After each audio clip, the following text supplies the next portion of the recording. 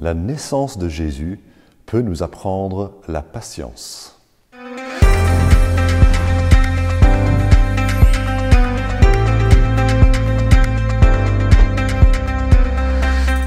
Je suis souvent perplexe par le temps que Dieu prend.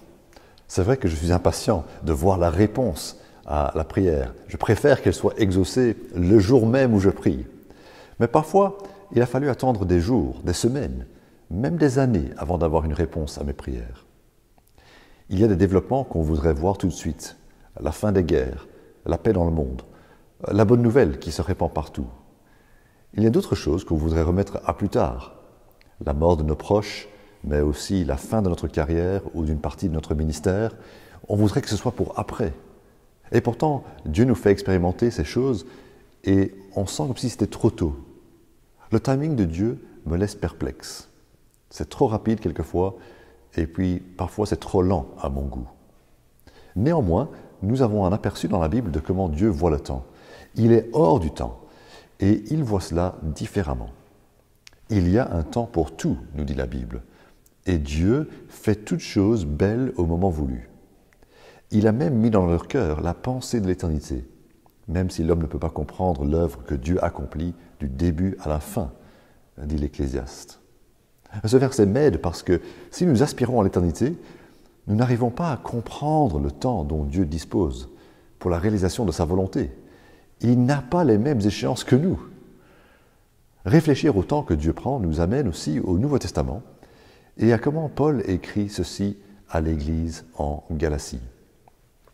Mais lorsque le moment est vraiment venu, Dieu a envoyé son Fils, né d'une femme, née sous la loi, pour racheter ceux qui étaient sous la loi, afin que nous recevions le statut d'enfant adoptif.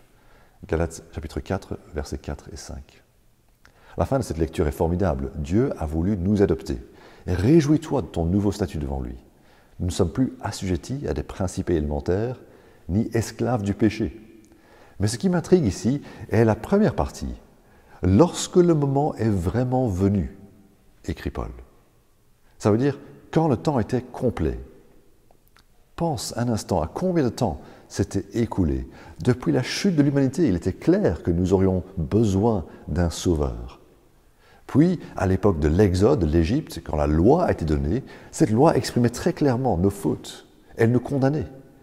Qui pourrait nous libérer de notre culpabilité? Celle qui est exprimée par la loi. Jésus n'est pas né à l'époque de Moïse. Il n'est pas venu à la période chaotique des juges ou au moment du péché du roi David. C'était pourtant nécessaire. Le temps est passé, des prophètes sont venus, des siècles se sont écoulés. Et puis le temps était complet. Dieu le Père a envoyé son Fils, il est né de la Vierge Marie, il était Dieu et humain, il était celui qu'il nous fallait. Et il était là au bon moment. Alors en fêtant Noël dans cette période de plus de 2000 ans après la naissance du Sauveur, souviens-toi, Dieu agit en son temps, mais ses œuvres durent éternellement. Nous devons apprendre la patience, prier certainement avec persévérance, mais faire confiance à notre Dieu souverain pour le chronométrage des réponses. Il le fera en son temps.